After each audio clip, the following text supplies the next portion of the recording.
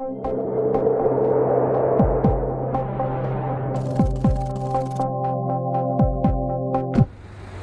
2. Februar 2012 war es endlich wieder soweit. Die führenden Vertreter der Logistik- und Nutzfahrzeugbranche trafen sich auf der Gala der Verkehrsrundschau. Für ein stimmungsvolles Ambiente sorgte das GOP Varieté-Theater in der Maximilianstraße im Herzen Münchens. Auf die rund 260 Gäste warteten in diesem Jahr hochinteressante Gastredner, informative Gespräche und faszinierende Künstler. Und nicht zu vergessen der eigentliche Anlass der Gala. Wir werden heute die beliebtesten Marken vorstellen im Transport- und Logistikdienstleistungsbereich. Höhepunkt der Verkehrsrundschau-Gala in diesem Jahr der Besuch von Bundesverkehrsminister Peter Ramsauer.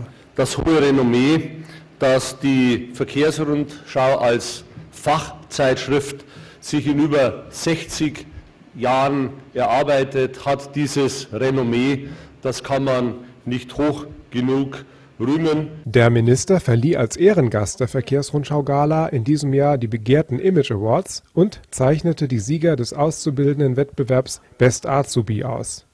Ich habe mir sagen lassen, dass ein gutes Abschneiden bei, beim besten Azubi, Best Azubi heißt es ja heutzutage in der Branche, als regelrechtes Karrieresprungbrett dient, weil es spricht sich herum. Bei Deutschlands größtem Wissenswettbewerb für angehende Speditions- und Logistikkaufleute siegte in diesem Jahr ein Auszubildender aus Brake an der Unterweser. Till Oliver Jahn von der Spedition LIT setzte sich gegen mehr als 1370 Wettbewerber